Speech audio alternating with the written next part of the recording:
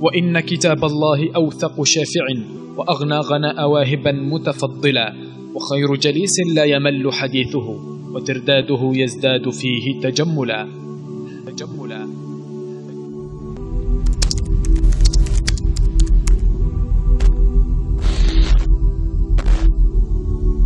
قال السياسي الإنجليزي إدمون بيرك كلما ندقق في القرآن نرى كماله وعلوه.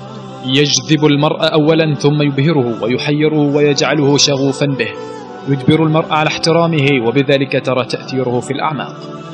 وتقول المستشرقة الألمانية أنا ماريا شميل القرآن هو كلمة الله موحاة بلسان عربي مبين وترجمته لن تتجاوز المستوى السطحي فمن ذا الذي يستطيع تصوير جمال كلمة الله بأي لغة؟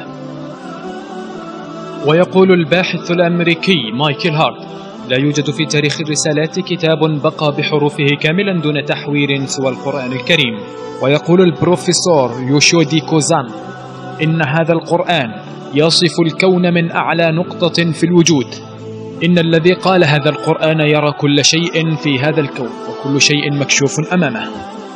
وقال الكاتب والمؤرخ الإسكتلندي توماس كارل القرآن هو الكتاب الذي يقال عنه وفي ذلك فليتنافس المتنافسون. وقال الأديب الألماني جوهان غوتي كلما قرأت القرآن شعرت أن روحي تهتز داخل جسدي. وقال الروائي والمفكر ليو تولستوي سوف تسود شريعة القرآن العالم لتوافقها وانسجامها مع العقل والحكمة.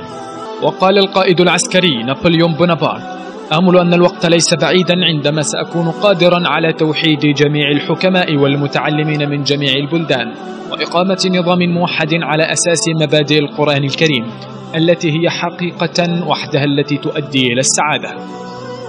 وقال الفيلسوف الفرنسي المشهور ماري فولتر أنا على يقين أنه لو تم عرض القرآن والإنجيل على شخص غير متدين لاختار الأول إذ أن الكتاب الذي نزل على صدر محمد يعرض في ظاهره أفكارا تنطبق بالمقدار اللازم مع الأسس العقلية ولعله لم يوضع قانون كامل في الطلاق مثل الذي وضعه القرآن.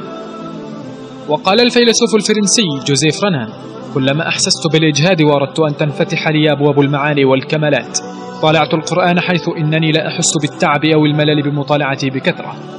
لو أراد أحد أن يعتقد بكتاب نزل من السماء فإن ذلك الكتاب هو القرآن لا غير.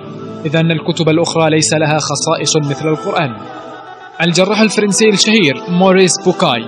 قرأت القرآن بإمعان ووجدته هو الكتاب الوحيد الذي يضطر المثقف بالعلوم العصرية يؤمن بأنه من الله لا يزيد حرفا ولا ينقص.